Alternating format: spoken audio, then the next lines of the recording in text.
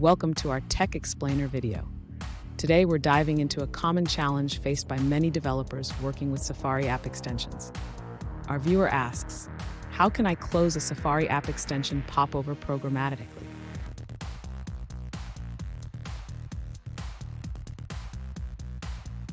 Here's a quick overview of the problem. Our viewer is building a Safari app extension using Xcode 8.3 and Swift 3. They have a popover that appears when the extension's toolbar item is clicked, containing buttons for user actions. However, they want to close the popover programmatically after an action is performed, but are struggling to find a solution.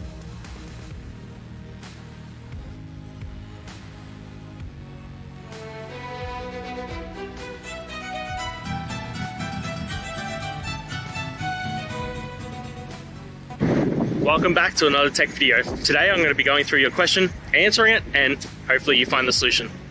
Now, don't forget to stay just a little bit crazy like me, and you'll hopefully get to the resolution. Now, let's continue on to the video. To close a Safari app extension popover programmatically, we first need to understand the limitations of the Safari app extension architecture. The popover is managed by the system, and direct access to it is restricted.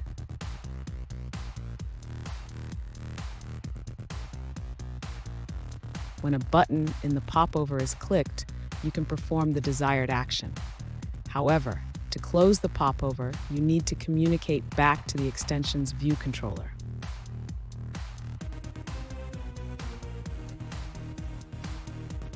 You can use the SF Safari extension view controllers method to send a message back to the extension. This can be done using the dispatch message method.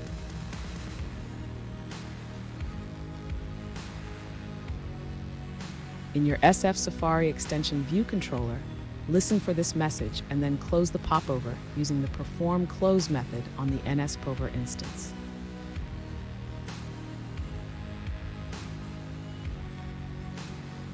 Remember, if you encounter issues with dismissing the view controller, ensure that the view controller is presented correctly.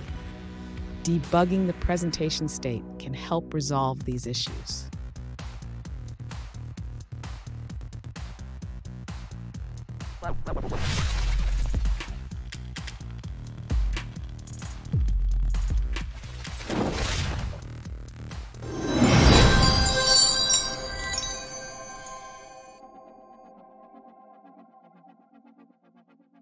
Let's now look at a user-suggested answer.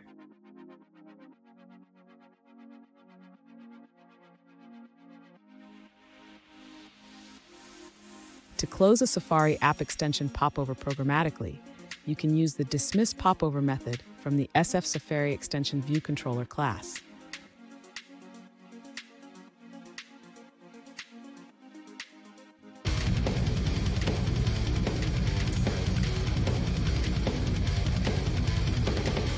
Let's now look at another user-suggested answer.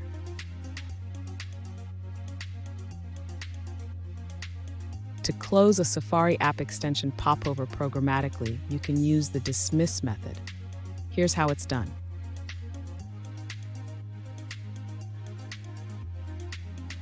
And that's it guys. I hope this video has helped find that solution that you're looking for. And if it did, please hit the subscribe button. I'd really appreciate it. Now, until the next time that you need technical help, I hope you have a good one.